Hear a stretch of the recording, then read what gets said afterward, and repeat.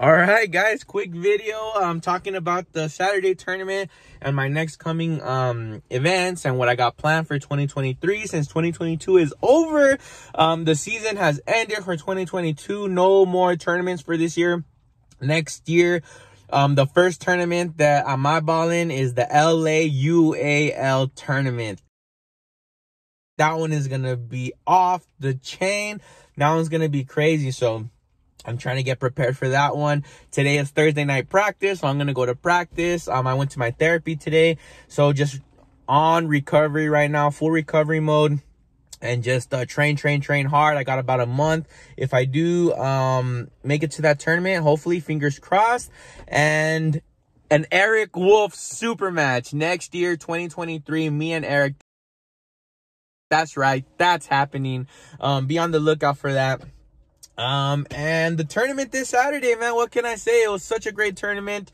I'm glad I went. Um, you know, I go to all the West Texas Arm Sports tournaments because they're just awesome. Uh, chance for 300 bucks. I was there, but Nate did like Debo and he just snatched that money and took off. Um, shout out to Nate McCallum, real strong dude. Um, I want to see him um, hit up some tournaments and um, pull some top level dudes in the um, North America.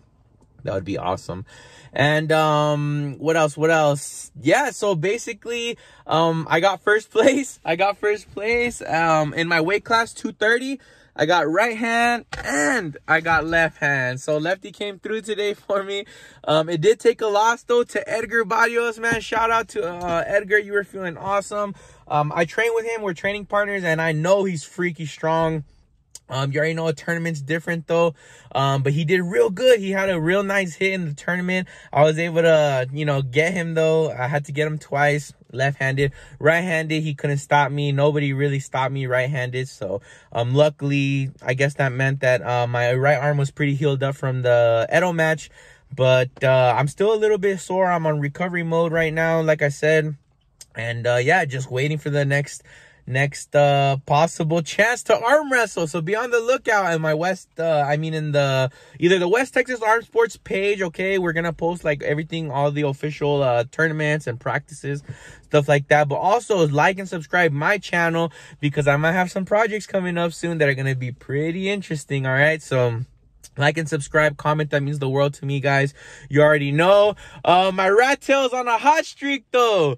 So this one, it's all messy. My girlfriend can't wait to redo it. Um, but I don't, I don't let her. I haven't let her redo it because I'm like, it's on a hot streak. She did it right before Colorado. And, um, I've been winning. I've been winning with this exact rat tail. So I redo it maybe every like two weeks or a month.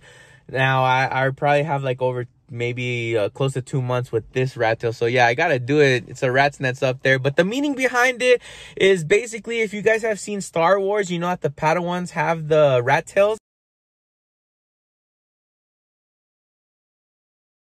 And it's basically means that they're in training to become a master. So put it together. I'm trying I'm trying to become a master at my craft. Just gonna keep on going. Um, and yeah, I, I gotta redo this, so maybe I might do a video on how it's done. It's just pretty simple, but yeah, if you guys want to see that. Um, but yeah, guys, have a great rest of your Thursday. Thank you for supporting. Thank you for watching. And we're going to keep coming at you live, baby. West Texas Arm Sports, Freddy Sanchez Arm Wrestling. Have a great day.